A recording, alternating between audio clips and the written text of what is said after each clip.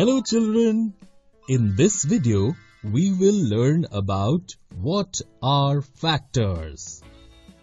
Appu has decided to distribute 12 laddus to all the villagers for free today.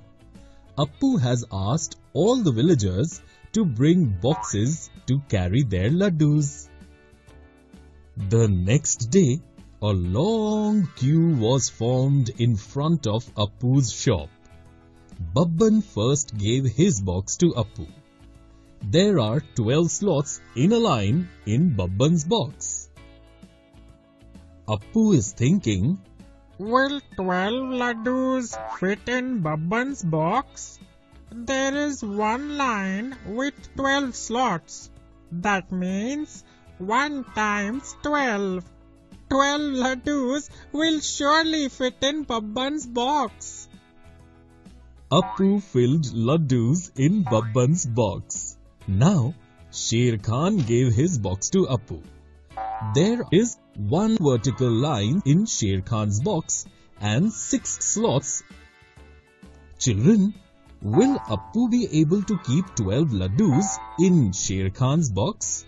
Yes, 2 times 6 is 12 laddus can be kept in Sher Khan's box.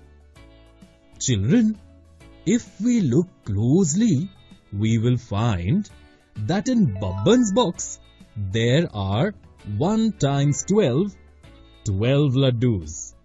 And there are 2 times 6, that is 12 laddus in Sher Khan's box.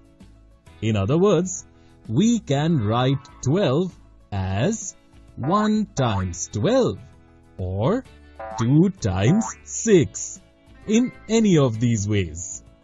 1, 12, 2 and 6 are the factors of 12.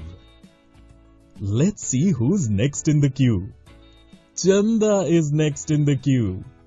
Chanda's box has one vertical line and three slots. Will 12 laddus fit in Chanda's box too? 3 times 4 is 12.